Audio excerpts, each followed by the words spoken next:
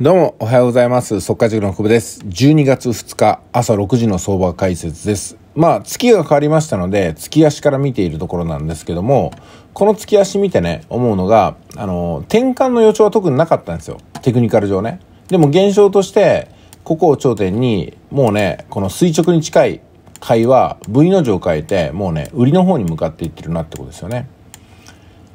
まあ、転換する場合はこうやって緩やかに転換する場合もあったりとか、何かね、転換の予兆を出して転換する場合もあれば、特に何もないけども、あの、売りが買いに入っていたとかね、買いが売りの流れになっていたトレンドの転換っていうのはあるわけなんですよ。で、今回は特に特徴なく変わっていきましたんで、変わり目ではね、まだ上がるんじゃないか、これはおしめなんじゃないかなってことで迷いが生じて、それが大きなロスカットにつながって、この圧倒的な陰線も作ってるかなっていうところですよね。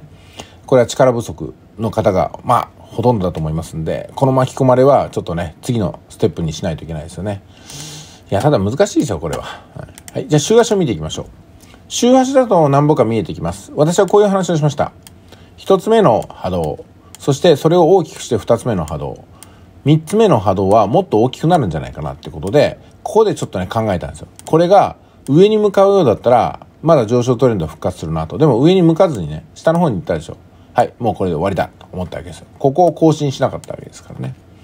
まあ、ですんで、次、ここを下回ってしまいましたから、もうあとはね、下げトレンドが起きるんだろうなというふうに思ってます。そこに FRB の発表、利上げをちょっとね、引き締めていくよってこと。FOMC が12月の発表もありますけども、その時には大きく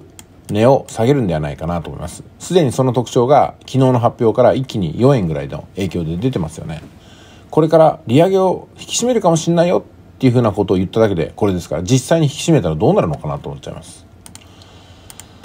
次はデイリーです。デイリーを見ていくと、そうそう、ここ。このポイントが防波堤だったと思ったんですけども、ここも軽々と、ね、一回上に組み上げて下にズバンと突き抜けましたよね。で、もう一つのポイント、ここに赤い線を引きました。これをレンジとしたわけですけども、このレンジも昨日の FRB の発表によって、やすやすとぶち抜かれてしまったんですね。そして懐かしい135円の556っていうのが来ましたよ。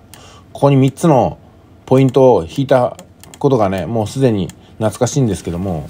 この時代が戻ってきたのかなと。そうなると、過去に使ったこの赤い3本の線ね、散々パラ使ってきましたけども、また使えるんじゃないかなと思います。ですので、この件は、線は消さないでおきましょう。4時間いきます。もう完全に下の方に向かっている右肩下がりになりましたけども、4時間も当然右肩下がりになってます。昨日はね、この仮レンジを破ってですね、下の方にぶち抜けていきました。じゃあこのぶち抜けがどこまで行くのかなっていうところで、昔懐かしい135円の556ってラインが出てきたんですけども、ここもいとも簡単に下回ってしまいましたよね。まあでもここからちょっとはえぐれても跳ね返ることもありますんで、それを1時間で見ていきます。さあ1時間どうでしょうか？ドンはい、このような形になりました。えーここだけ見ると、えーブレイクアウトして、ここのレンジって見ることもできます、これからね。さもなければ、この下の方に新しいレンジを作るんではなかろうかっていうことで、昔の赤い3本線を思い出すことにもなるんですけども、今の時点では判断できません。とりあえず、下に一方的に進む流れが、とりあえずここで落ち着いて、もう一回ここで落ち着きがあるかなってとこですね。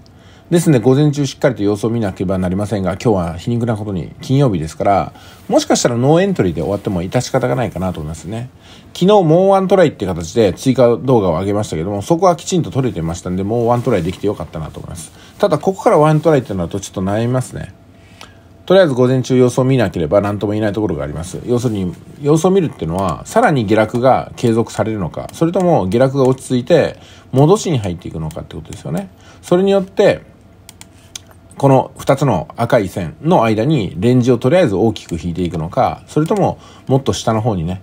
新しい動きを見出していくのかってことが決断できます。今日の今の時点では、この朝の6時の時点ではできませんので、もうちょっと時間を置いていくことになります。えーとりあえず、夕べ深夜の時間帯でエントリーした分については、ここで全部決済した方がいいと思いますよ。で、昨日ポジションを置いた方は、私の強いお勧めで、ここで一旦決済しましょ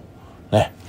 私も決済しました。えー、幸い利益が取れてるうちなんで。これ反転しちゃったらその利益さえ減っていくんで、追撃が結構しんどくなるんですよ。金曜日ですから、今まで十分な利益が上がった分をなくさないようにすることと、あとね、まだ利益が取れてない方は、もうワントライできると思いますけども、ただね、金曜日、いろんな条件が入ってきますんで、えーそこはですね、デモトレードに抑えておいた方がいいと思います。で、きちんとリスクが取れる方は、午前中の私の相場解説も参考にしながら、セルかバイかを決めてみてください。えー、私はね、これね、どっちに行くと思います？まだ判断できません、はっきり言って。わかんないです。止まるんじゃないかなと思いますけどもね。つまりは戻し、倍の方に入っていくんではなかろうかと思いますけども。ちょっとわかんないですね。うん、まあ倍の可能性は強い、強いぐらいしか思いませんけども、その可能性がさらに強まるのかどうかっていうのは、午前中じっくりと過ごさなければ分かりませんので、また後ほどね、10時なり12時ぐらいに追加を更新しようと思います。えー、速稼塾の限定動画をご覧の皆様、追加放送ありませんので、自力でやってください。FX オリガルヒの皆様は昨日と同じぐらい、一昨日と同じぐらい、ガシガシと厚めにやっていきますからね。よろしくお願いします。